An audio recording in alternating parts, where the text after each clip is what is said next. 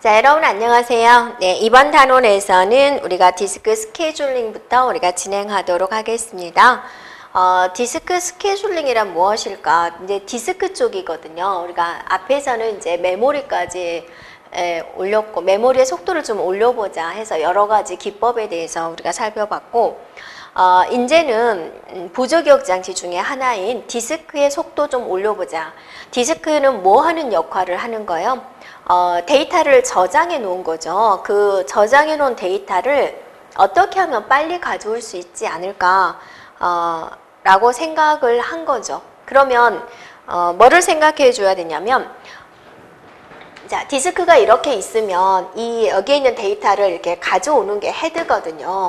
이 헤드가 어, 좀 조금씩만 움직이면 데이터를 더 빨리 가져올 수 있지 않을까라고 생각을 한 거죠. 그래서 지금 여러분이 이제 어떻게 생각을 해보면 되냐면 자, 이거를 위에서 내려다 보세요. 자, 0번, 1번, 2번, 3번, 4번 해가지고 어, 199번 이런 식으로 이제 트랙이 있는 거죠. 이렇게 트랙이 있는데 데이터를 가져오기 위해서 여기서 이제 여기 있는 헤드가 여기를 꽉 이제 이렇게 하는 거죠. 왔다 갔다 하는 거죠. 이렇게 이런 식으로 왔다 갔다 하면서 데이터를 가져오고 얘는 이런 식으로 회전을 하고 있습니다. 그래서 데이터가 여기가 있다. 그럼 이제 얘는 회전하고 있고 얘가 헤드가 이렇게 찾아서 헤드가 여기 딱 멈춰져 있으면 이 데이터가 얘는 원판을 돌면서 여기 있는 데이터를 가져오는 거죠. 자, 그러면 이제 여기 하나만 그냥 볼게요. 얘는 어차피 원판이 되어 있으니까. 처음에 데이터 여기가 있고 데이터 여기가 있고 여기가 있고 여기가 있고 이런 식으로 이제 데이터가 널브러져 있을 때 헤더가 또 이게 처음에 딱 음, 처음에 딱 이 네 개의 데이터가 딱 있다. 그 상태에서 출발한 게 아니잖아요. 네. 여기를 찾고 있는데 그 다음에 데이터 여기 오고 그 다음에 여기 찾으세요. 이런 식으로 오는 거잖아요.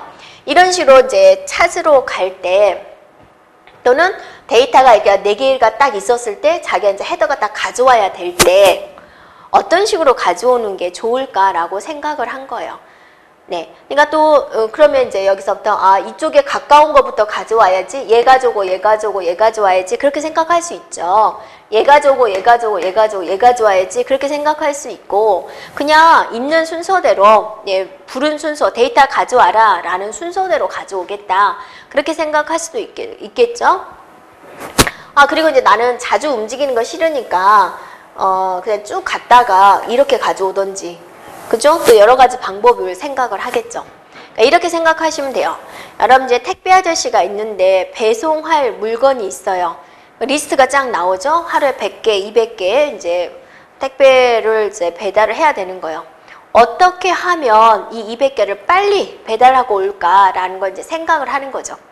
그러니까 어떤 사람은 아 나는 생각하기 싫어 그냥 어, 입금 이제 들어온 순서대로 주문된 순서대로 배달할 거 이제 상품이 도착한 그 순서대로 나는 배달하겠다.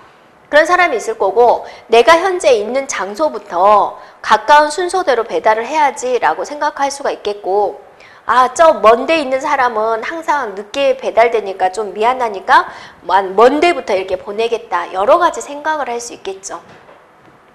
그런 생각을 하는 이유는 뭐예요? 빨리 끝내려고, 일을 빨리 끝내려고. 자, 얘가 이제 헤드의 이동 거리를 생각을 해줘야 되고 어떤 알고리즘을 선택을 해주면 데이터를 어, 빨리 가져올 수 있을까? 즉, 헤드가 일을 적게 할 수 있을까라는 거 이제 생각을 하는 거죠. 그래서 이제 이 디스크 scheduling의 목적은 무엇이냐? 어, 데이터를 처리하기 위해서 디스크 헤드가 움직이는 경로를 결정하는 기법이 됩니다. 네. 그래서 어, 목적이 어디가 있냐, 뭐 하려고 이걸 하냐 그거죠. 그냥 데이터 가져오면 되지, 뭐 하려고 이 디스크 scheduling을 하냐. 네, 어, 처리량을 증가시키고, 네, 많이 가져오고 싶다 그죠. 단위, 단위 시간당. 아, 음, 목소리가 점점 빨라지죠. 천천히 할게요. 네. 자, 처리 양을 증가시키기 위해서, 네, 응답 시간을 최소화하기 위해서, 빨리 가져온다 그거죠. 응답 시간의 편차를 줄이기 위해서. 왜냐하면 이런 거죠. 여기 있는 데이터 가져올 때는 빨리 가져오더니 여기 있는 데이터 가져올 때는 너무 늦게 가져오는 거예요. 그러면 이 데이터를 참조할 때는 어때요? 좀 성질나죠? 네. 그죠? 여기 사는 사람들은 어때요? 나는 맨날 택배가 제일 늦게 해줘요. 그러니까 좀 화날 수 있겠죠? 그럼 편차를 줄이자. 라고 해서 자 헤더가 데이터를 헤더의 이동 거리를 어, 생각을 해놓은 거예요. 이런 식으로 헤드를 움직이겠다. 그죠? 저런 방식으로 헤드를 움직이겠다. 라고 생각을 한 거예요. 그래서 디스크 scheduling 기법입니다. 네. 자, 첫 번째 FCFS 방식입니다. 네. 이거는 그냥 생각하기 싫은 거예요. 그래서 그냥 입력된 순서대로 데이터 가져와. 자, 현재 헤더가 50의 위치에 있어요. 아, 또 괜히 지웠네요. 네. 자, 이게 이제 트랙이다 그랬죠. 트랙. 트랙에 있는데 헤더가 어떠세요? 여기 헤더가 이제 딱 달려 있어서 왔다 갔다 하면서 여기 있는 데이터를 찾는다라고 그랬죠. 현재 헤드가 여기 멈춰져 있는 거예요, 여기. 근데 100에 있는 데이터 가져와 그랬어요. 180에 있는 데이터 가져와. 그러니까 헤더는 아, 트랙은 이제 번호가 있잖아요. 이런 식으로. 이렇게 100번에 100번의 데이터. 그것 좀 가져와. 180의 데이터. 그것 좀 가져와. 40의 데이터. 그것 좀 가져와. 이런 식으로 요구를 했다 그거죠. 이렇게. 예, 그러면 FCS S 방식은 뭐냐? 이제 이 용어는 많이 들어왔죠. 먼저 들어온 거 먼저 가져온다. 먼저 요청한 걸 먼저 가져온다. 그래서 얘는 그냥 가져오라는 순서대로 가져오는 거예요. 현재 50에 있었죠, 헤더가. 네. 50에서 네, 100, 100 가는 거예요. 100에 있는 데이터 가져와 100번 트랙 가는 거죠. 네. 그다음 180 트랙 가는 거예요. 40 트랙 가는 거예요. 그냥 순서대로 요구한 순서대로 어, 헤더가 움직이는 거예요. 그러면 이제 따져본 거죠. 헤더가 얼만큼 움직였나? 그러니까 이렇게 생각해 주면 돼요. 여러분이 택배 아저씨인데 하루에 이제 200개의 물품을 배송을 해요. 어, 기름값은 얼마나 나오죠? 엄청 나오겠죠. 네. 어떻게 하면 기름값을 적게 나와줘야 되나요? 생각을 하겠죠? 그래서 몇 킬로 정도 이동을 했는지를 따져보는 거죠. 이렇게 이동을 했더니 헤드의 이동 거리가 얼마가 되더라 계산하는 거예요. 네. 자, 이거 계산하는 방법은 어떻게 하는 거죠? 자, 50에서 100을 갔어요. 얼만큼 이동했어요? 50만큼 이동했네요. 100에서 180을 갔어요. 80만큼 이동했네. 80, 180에서 40 이동했어요. 140 이동했네요. 40에서 120 이동했어요. 80 이동했네. 자, 이런 식으로 쫙 나열을 했어요. 그래서 다 더했어요. 그랬더니 이만큼 이동했어요. 이게 계산이 나온다 그거죠. 네, 됐나요? 그래서 이제 어, 이런 식으로 있었을 경우에 여러 가지 방법을 했을 때 또 통계를 내는 거죠. 데이터가 이제 이런 식으로 있었을 때 이런 방법으로 운영하니까 헤더의 이동 거리가 적더라. 그런 식으로요. 네. 그 다음에 이제 어, SSTF 방식이에요. 자, S라는 단어가 나온다. 그러면 여러분은 이제 뭘 생각하겠습니까? 아, 뭔가 짧은 거. 그죠? 짧은 거. 그래서 현재 헤더가 있죠. 헤더가 현재 있는 위치에서 가까운 거리에 있는 데이터를 어, 먼저 가져오는 방식이 돼요.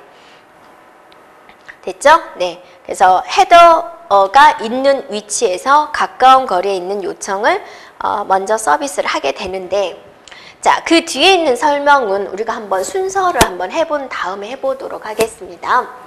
자, 이게 미리 나와버렸네요. 네. 자, 데이터가 이렇게 요구가 왔어요. 자, 현재 헤더는 50에 있습니다. 50에. 그래서 이런 데이터를 가져와 라고 요구를 했어요.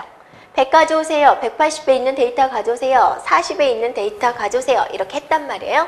그러면 헤더에부터 가까운 거리에 있는 걸 가져온다. 그 기법이 SSTF 기법이라 그랬죠.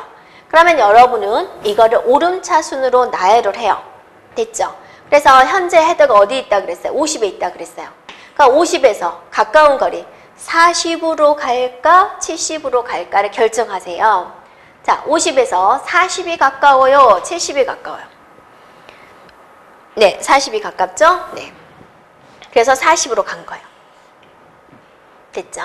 그럼 40에서 40에서 0이 가까워요? 70이 가까워요? 고민을 해야죠? 70이 가깝죠? 그럼 70 가는 거죠? 그 다음에 이제 80 가고 이런 식으로 가게 된다라는 거죠. 네. 그러면 이제 얘를 한번 봐볼게요. 네, 여기서 0에서 40, 50, 네, 70, 80, 100, 120, 네, 150, 180 이렇게 있단 말이에요. 다시 한번 볼게요. 자, 50에서 어디로 갔어요? 40으로 갔어요. 40에서 어디로 갔어요? 70으로 갔어요. 70에서 0이 가까워요. 70이 80이 가까워. 80이 가깝죠. 가서 가는 거죠. 가는 거죠. 네, 가는 거죠. 가는 거죠. 찌 가가지고 0으로 왔다 이거죠. 이런 방식으로 어, 운영을 한다라는 거죠. 이제 짧은 거리를 가다 보니까 이제 이렇게 가게 된 거예요. 그러면 이것도 장단점은 있겠죠. 볼까요? 자, 해, 가장 안쪽이나 바깥쪽 트랙은 확률상 가운데 트랙보다 서비스를 덜 받는 경향이 있다. 그러니까 좀 늦게 올 경향이 있다라는 거죠. 그러니까 0이라는 거 가운데 있는 것은 어때요? 어디서 출발을 하든지 간에 맨 끝에보다는 확률적으로 그래도 음, 더 빨리 서비스를 받을 수가 있죠. 근데 맨 끝에 있는 트랙에 있는 데이터들은 어떠세요? 확률적으로 어, 가운데 있는 것들보다는 나중에 나중에 어, 서비스 받을 확률이 더 높다라는 겁니다. 됐죠? 헤드에서 맨 멀리 떨어진 요청은 기하 현상이 일어날 수가 있다. 어, 기하 현상이라는 것은 뭐냐면 계속 밀리는 겁니다. 이렇게요. 그래서 계속 밀리고 밀리고 밀리는 현상, 네, 를 말을 하게 됩니다. 그래서 응답 시간에 대한 편차가 심해요. 라는 거고요. 자, 그래서 그 뒤에는 하는 방법을 나열을 하고 있습니다. 됐죠? 네, 이게 SSTF 방식이다. 그래서 특징도 한번 살펴보세요. 네. 그 다음에 이제 스캔 방식이 있습니다. 스캔. SCAN 기법이다. 엘리베이터 기법이다. 라고 하고 있습니다. 자, 엘리베이터 기법이다. 왜 엘리베이터라는 기법을 할까? 내려갈 때는 쭉 한쪽 방향으로 내려가고, 네, 한쪽 방향으로 쭉 내려가고, 또 다시 올라가는 거죠. 올라가면서 어, 데이터를 선택하는 거죠. 그러니까 우리가 이제 엘리베이터 1층에서 탔어요. 1층에서. 네. 그러면 2층, 3층, 4층 해가지고 어디까지 가요? 네. 어, 20층이다. 20층까지 그냥 가는 거죠. 쭉 가고 내려올 때는 바로 1층으로 내려오는 거 아니죠. 네. 19층, 18층 해가지고 이런 식으로 내려오게 되는 거죠. 그래서 이렇게 되고 20, 19 이런 식으로 내려오는 거죠. 그래서 어, 이건 이제 엘리베이터 기법이다라고 하고 있습니다. 자, 만약에 현재 헤더가 20에 있어요. 50에 있어요. 데이터가 이렇게 들어왔어요. 그러면 일단은 움직이는 방향입니다. 헤더의 진행 방향 쪽으로 움직이게 됩니다. 됐죠? 네. 그래서 헤더가 움직이는 거리 쪽으로 가면서 가까운 것. 그러니까 50, 엘리베이터니까 현재 층수라고 생각을 해볼까요? 어, 180층이 없지만 그래도 있다고 생각해 보세요. 50층에서 엘리베이터가 있어요. 지금 내려가고 있대요. 0, 0으로 바로 내려갈 수 못하죠. 70으로 올라가지 못하죠. 헤더가 움직이는 방향, 움직이는 방향, 내려가고 있는 방향이에요. 그럼 내려가는 거죠, 이렇게. 이런 식으로. 그러니까 이것도 어떠세요? 데이터가 이렇게 들어왔을 경우 어, 스캔 방식을 이용하세요. 그러면 여러분은 데이터를 어떻게 해줘야 돼요? 일단은 오름차순으로 나열을 해줘야죠. 네, 오름차순 나열해주고 헤더가 50이 있다 이렇게 했고 자 이쪽으로 가고 있다 그러면 이쪽 방향으로 이렇게 가는 거죠. 간 다음에 방향 바꿔야죠. 방향 바꾸면서 얘네들은 처리를 했으니까 굳이 거칠 필요 없죠. 그래서 70 거치고 80 거치고 이런 식으로 서비스를 하면서 맨 꼭대기까지 올라가는 기법. 이거를 이제 엘리베이터 기법이라 그러죠. 자, 그런데 이제 여러분이 이거를 이제 어, 이걸 생각해 주면 돼요. 우리가 답을 음, 빨리 찾아야 되니까 이렇게 이렇게 그죠? 이렇게 이렇게는 스캔 방식이다. 엘리베이터 기법이다 라고 생각해 주면 돼요. 자, 그러면 이거는 일단 하는 방법은 알았죠? 자, 여러분 교재로 한번 정리를 해볼까요? 네, 헤더가 진행 중인 방향으로 헤더가 가장 짧은 거리에 있는 트랙에 대한 요청을 먼저 서비스를 하고 진행 중 가장 바깥쪽으로 갔거나 더 이상 요구가 없으면 반대쪽으로 어, 방향을 바꾸어서 네, 서비스하는 기법이 된다라는 겁니다. 네. 그러죠? 그래서 그렇게 하는 방법이 나와 있습니다. 그래서 여러분은 이거 생각해 주면 돼요. 이렇게 쭉 갔다가 이렇게 가는 기법이다 라는 겁니다. 자, 여기서 그 다음에 어, 또 다른 기법이 나오는데요. 자, C스캔 방식이 있습니다. 어, C스캔 방식은 무엇이냐면 자, 엘리베이터 기법하고는 살짝 다르게 일단 이것도 오름차순으로 하고 어, 50이 있는 위치에서 헤더가 움직이는 방향으로 일단 가요. 자, 간 다음에 엘리베이터는 이렇게 여기서부터 올라갔죠. 방향을 바꾸는 거예요. 완전히 끝으로 가요. 완전히 끝으로 가서 여기는 그냥 이동만 하는 거죠. 이동만 해서 여기서 이제 태우는 거죠. 180층, 130층 이런 식으로 태우게 되는 거. 그래서 얘는 한쪽 방향이에요. 한쪽 방향. 그래서 얘는 여러분이 어떻게 생각하면 되냐면 이렇게 이렇게 방향이 무조건 한쪽 방향이면 음, C스캔이에요. 자, 스캔 방식은 여러분이 화살표를 만들어 봤더니 이렇게 이렇게 되는 방식이었죠. 왼쪽으로 갔다가 그 다음에 오른쪽으로 가는 거죠. 얘는 어때요? 이렇게 갔다가 맨 끝에서 이렇게 이렇게 오는 방식이죠. 한쪽 방향이 되는 거죠. 네, 구분할 수 있겠죠. 네, 이렇게 해주면 되겠습니다. 그래서 이런 문제가 나오면 오름차순으로 일단 나열한 다음에 자 가고 가고 쭉 끝까지 가서 방향 바꿔서 이렇게 내려오는 방식이에요. 라고 기억해 주면 되겠죠. 자, 그 다음에 이제 또 특이한 게 N-step scan이라고 있습니다. N-step scan은 뭐냐면 어, 한쪽 방향으로 헤더가 진행이 시작될 당시에 어, 대기 중이던 요청, 이미 들어와 있는 요청들만 서비스를 하고요. 어, 진행 도중에 도착한 요청들은 어, 모았다가 네, 한꺼번에 다음 방향 진행 시에 어, 서비스 할 수 있도록 해주는 어, 그런 방식을 엔스템 스캔이라 그런다. 그런 방식이 있다라고 보면 되겠습니다. 자, 이제 우리가 한번 연습 문제를 풀어보도록 할까요? 네.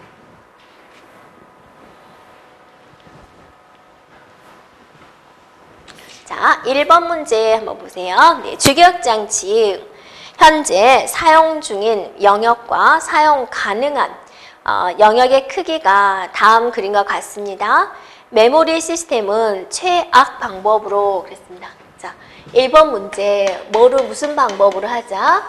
최악 방법으로 하자. 악, 악. 네. 15K래요. 15K 가장 안 좋은 방법, 그러니까 가장 넓은 공간에서 하고 싶다. 자기 혼자 살면서 60평 아파트에서 사는 거죠. 네. 그러면 뭐겠습니까? 어디 들어가야 돼요? 여러분이 40K, 145K, 300K, 15K 어디 들어갈 거예요? 가장 넓은 장소 어딘가요? 네, 300K로 들어가는 거군요. 300K는 어, 영역 번호 몇 번이 써져 있어요? 5번이 써져 있죠, 5번. 네. 그래서 네, 정답은 5번이라고 써져 있는 3번이 되겠죠. 자, 여러분이 심심하니까 해보세요. 최초, 네, 또 최저, 어렵지 않죠? 네. 최초는 15K가 들어갈 수 있는 어, 1번부터 쭉 따져서 15K가 들어갈 수 있는 공간 어딥니까? 최초 40K로 들어가면 되겠군요. 자, 최적 찾아보세요. 최적. 최적은 어디 들어가면 좋아요? 아, 15K가 있군요. 15K로 들어가면 좋겠군요. 이렇게 추가적으로 생각할 수 있겠죠. 자, 2번입니다. 네, 2번. 자, 다음에 데이터를 주고 자, 서비스 되는 순서가 그렇게 나왔습니다. 아, 이 디스크 스케줄링 방식은 무엇입니까? 그랬어요. 자, 그러면 그거를 오름차 순으로 일단 나열을 해보세요. 제일 먼저 12가 있죠. 35가 있죠. 네. 64, 66, 자, 99, 121, 125, 182 이렇게 있단 말이에요. 자, 그러면 여기서 순서 한번 보세요. 뭐부터 했어요? 네, 서비스 되는 순서 64, 64에서 어디로 갔어요? 66으로 갔어요. 그 다음에 99로 갔어요. 이렇게 갔어요. 이렇게 갔어요. 이렇게 갔어요. 182까지 갔죠? 그리고 나서 어쨌어요? 12에서 35로 왔죠. 네. 그러니까 방향이 이런 방식이죠. 계속 오른쪽만 바라보면서 가고 있죠. 방향이 똑같은 거 무슨 방식이라 그랬죠? C-SCAN 방식이라 그랬죠. 네, 그래서 정답은 2번이 되겠습니다. 자, 3번 문제 보겠습니다. LRU 페이지 교체 정책에서 어, 세 개의 프레임이 있습니다. 네, 페이지 프레임이 있습니다. 이런 페이지 참조 패턴은 몇 번의 페이지 fault가 일어나나요? 그랬어요. 자, 일단은 페이지 프레임이다. 페이지 프레임이라는 것은 어, 어디에 있는 공간이에요? 네, 주기억장치에 있는 공간이죠. 그래서 어, 공간을 세 개를 만듭니다. 네, 그래서 이렇게 보는 거죠. 이렇게 이렇게 보면 되죠. 그러니까 이렇게 생각하면 되죠. 주기억 장치가 이렇게 있는데 이 주기억 장치가 어, 세 개로 쪼개져 있는 거죠. 한 개, 두 개, 세 개. 여기 있는 공간은 다 동일하다. 이게 뭐죠? 프레임이다라고 하죠. 이렇게요. 이게 이제 메모리에서 이렇게 구분이 되고 있다. 그러면 여기에 똑같은 크기의 페이지가 조각을 맞추듯이 이제 여기에 들어와야 되는 거죠. 이렇게. 그래서 여기에 페이지 번호가 해당되는 곳에 들어오게 되는데요. 자, 어떤, 어떤 것들을 CPU가 참조를 했냐면, 순서대로 한번 적어 보자면, B, 어, C, A, B, C, A, B, D, D, B, D, D, C, A, B 이런 순서대로 이제 참조를 하겠다 그거죠. 참조를 한 거죠 CPU가. 네. 그랬을 때 이제 한번 보겠습니다. 처음에 페이지 fault. 페이지 fault를 물어봤죠. page fault란 여러분 뭐였어요? 네. 주기억장치 없어서 새로 들어온 거죠. 이게 다 차가지고 하여튼 다 차던 텅 비어있던 새로운 페이지가 여기 들어오는 것. 네. 그거를 우리는 page fault라고 하는 거죠. 네. 그래서 네. 여기 이제 CPU 어, 주기억 장치 공간입니다. 자, B가 들어왔어요. B. B. 네. B 들어왔죠? 새로 들어왔죠? 그러니까 우리가 page fault 일어났어요. 라고 대답을 하는 거죠. 어, 그 다음에 이제 C가 들어왔어요. C. 자, B가 있는 상태에서 C가 들어왔어요. 새로 들어왔죠? 네. 됐나요? A가 들어오네요. 네. 자, B가 들어와 있고 C가 들어와 있는 상태에서 A가 들어왔어요. 새로 들어왔죠? 네. 그 다음에 잘 생각하세요. 자, 그 다음에 또 CPU가 B 들어와. 그랬어요. B 들어와. 네. 원래 있네요. 원래 있는 주격전체 B 있죠. 그냥 달려가면 되죠. 네. 그 다음에 D 들어와. 그랬어요. D. 없네요. 그럼 가져와야 되겠죠. 자, 누구를 내보내? 여기서부터 이제 내보내야 되겠죠. 누구를 내보낼까요? LRU 기법이니까. LRU. 자, 가장 오랫동안 참조되지 않은 것을 내보내는 거죠. 여기서부터 생각해야 되죠. B는 언제 참조했지? 언제 CPU가 불렀지? 이때 불렀네요. A는 언제 불렀지? C는 언제 불렀지? 아, 가장 오래된 건 누군가요? C군요. 그래서 C를 내보내고 거기에 D가 들어옵니다. 항상 메모리를 거쳐야지 CPU로 갈 수 있으니까. 그래서 나머지는 그대로 놔둡니다. 페이지 폴트 일어났나요? 일어났어요. 자, 그 다음에 또 CPU가 D 들어와. 그랬어요. D. D 들어와. 네. 기어 들어와. D 들어와. 자, 이렇게 해줘. page fault 일어났나요? 네. 그대로죠. 안 일어났죠. 네. 그 다음에 C 들어와. 그래서 C. C. 그럼 이제 생각하는 거죠. D는 여기서 참조했군요. B는 여기서 했군요. A는 여기서 했군요. 가장 오래된 건 누구예요? A예요. 그래서 여기가 C가 들어오고 page fault 일어났고 나머지 그대로 자리 잡으면 되죠. 나요? 네. 자, 그 다음에 A 들어와. 그랬습니다. A 들어와. 네.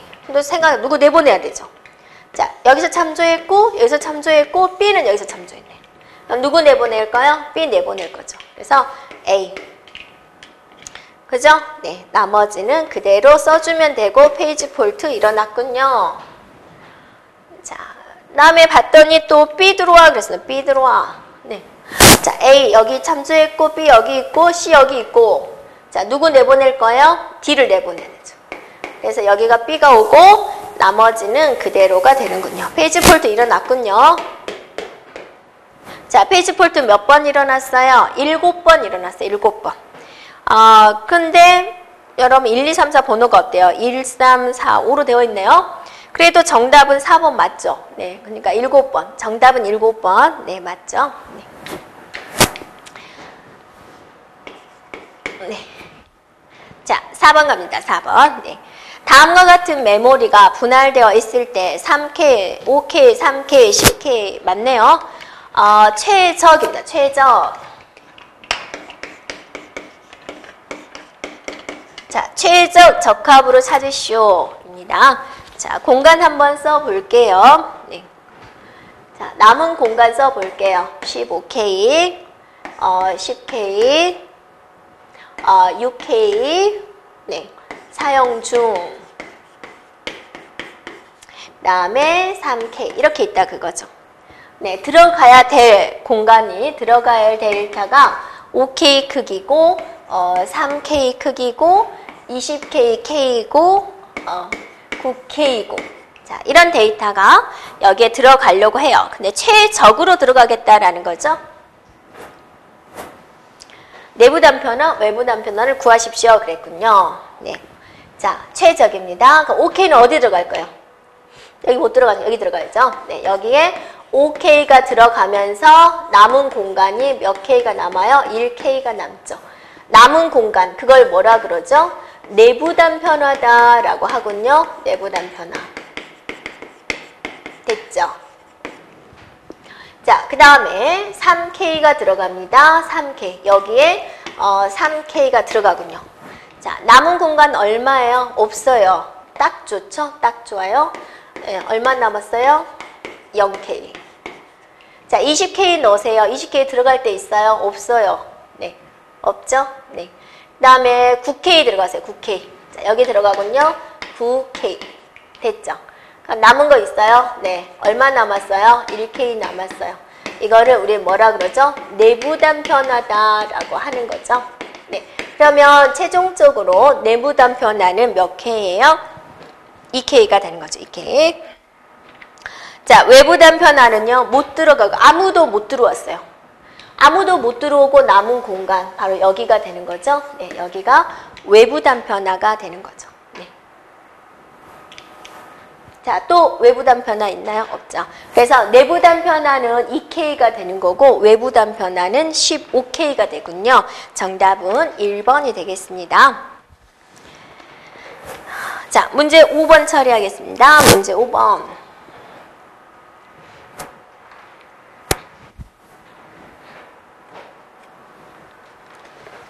자, 스택을 이용한 LRU 기법입니다. 네, 그래서 어, 이거를 처리해 주세요 라고 했습니다. 네.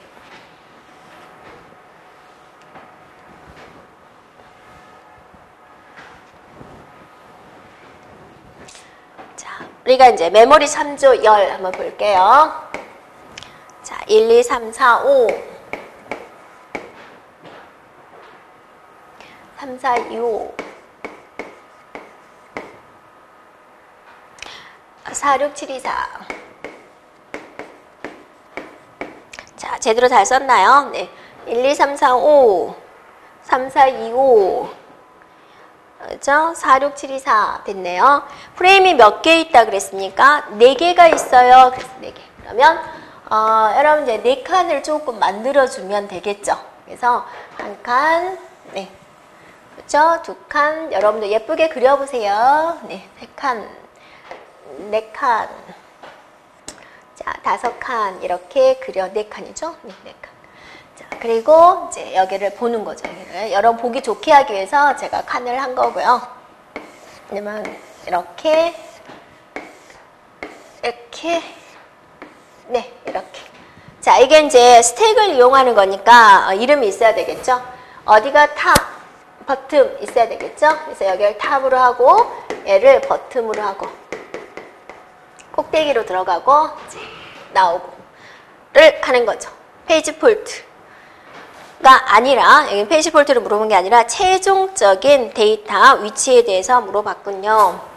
자, 처음에 그럼 page fault는 우리가 생각 안 해도 되죠. 네. 어, 최종적인 거 이걸 해주면 되는데 여러분이 이제 어, stack을 이용한 것은 네, stack을 이용한 것은 가장 최신의 게 어디에 들어온다 그랬어요? top에 들어온다 그랬죠. 네, 그 다음 다 차면 어디에 있는 걸 내보내요? bottom에 있는 걸 내보내요. 그죠? 참조하는 것은 무조건 어디에 들어와요? 맨 꼭대기에 들어와요. 그래서 솔직히 이 문제 같은 경우는 어, 여러분이 굳이 풀이를 안 봐도 4번이라는 걸 알 수가 있죠. 메모리 참조 열에서 맨 끝에 4번을 참조하고 있잖아요. 4번 참조하니까 맨 끝에 꼭대기에 뭐가 들어와야 돼요? 4가 들어와야 돼요. 무슨 말이냐면 얘네들을 참조하고 있으니까 무조건 어떤 경우든 어, 탑에 참조가 이렇게 들어올 수밖에 없다라는 거죠. 어? 참조하는 것은 탑에 있어요. 그래서 맨 끝에 여기 맨 끝에 4번 참조하고 있잖아요. 그러니까 여기는 아직 모르지만 여기는 4라는 걸 알 수가 있다라는 거죠. 그래서 정답은 몇 번이에요? 4번이다. 문제 안 풀고도 어, 4번이다라는 걸 알 수가 있다라는 겁니다. 그래도 우리는 해봐야 되겠죠.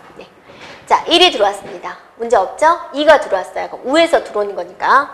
아, 자, 탑인데. 여기가 이제 어디로 들어와야 되냐면 이 밑으로 들어와야 되죠. 여기는 이제 1이 들어왔으니까 밑에 깔린다 그거죠. 자, 2가 들어왔어요. 1이 있는 상태에서 2에 깔리죠. 1이 들어온 상태에서 2가 있는 상태죠. 1, 2, 3이 있는 상태에서 4의 탑이 들어왔죠. 여기서도 보겠습니다. 자, 다 찾는데 5 들어와 그랬습니다. 5. 그럼 누구를 내보낸다 그랬어요? 맨 끝에 걸 내보내는 거죠. 네. 그리고 이제 얘네들을 한 칸씩 내려서 쓰면 되는 거죠. 됐나요?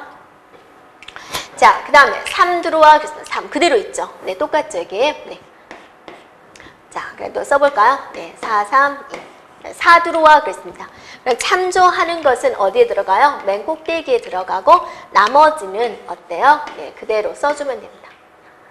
어, 5죠? 네.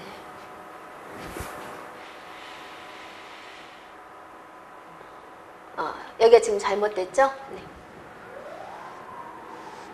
자, 다시 해보겠습니다. 자, 어, 여기서 3이 들어와 그대로 써주면 되죠. 2, 4, 5. 그죠? 3이 들어와 그랬는데 참조된 거는 맨 꼭대기에 올라가야 되니까 3이 꼭대기에 올라가고 나머지는 그대로 써주면 되죠. 자, 그 다음에 4 들어와 그랬습니다. 4 여기 있네요. 얘를 꼭대기로 올리고 나머지는 그대로 적어주면 되는 거죠. 됐나요? 자, 2 들어와 그랬습니다. 2. 그러니까 2. 2가 맨 꼭대기로 올라오고 나머지는 그대로 적어주면 되는 거죠. 자, 5 들어와 그랬습니다. 5 들어와. 그러면 5가 맨 꼭대기에 올라오는 거고 나머지는 그대로 적어주면 되죠. 4 들어와 그랬습니다. 4. 그러면 부르는 걸 맨 꼭대기에다 적어주고 나머지는 그대로 적어주면 되죠. 자, 6 들어와 그랬습니다. 6. 누군가 내보내야죠. 칸이 없으니까. 누구 내보낼까요? 맨 끝에 있는 거. 얘 내보내고 나머지는 그대로 적어주면 되죠. 자, 7 들어와 그랬어요. 그럼 누구를 내보낼까요? 네, 밑에 있는 거 내보내고 나머지 그대로 적어주면 되죠. 이렇게요. 2 들어와 그랬습니다. 2. 그래서 맨 끝에 있는 거 내보내게 하고 자, 나머지 그대로 적어주면 되죠. 자, 4 들어와 그래서 4. 그러면 4를 맨 위에 올리고 나머지를 이렇게 내려주면 되죠. 네. 그러면 어, 정답이 4, 2, 7, 6 해가지고 네, 4번이 되겠군요. 됐나요? 네. 자, 여기까지 진행하고요. 예, 우리가 다음 단원에서 네, 소프트웨어 공학에서부터 네, 살펴보도록 하겠습니다. 여러분 수고하셨습니다.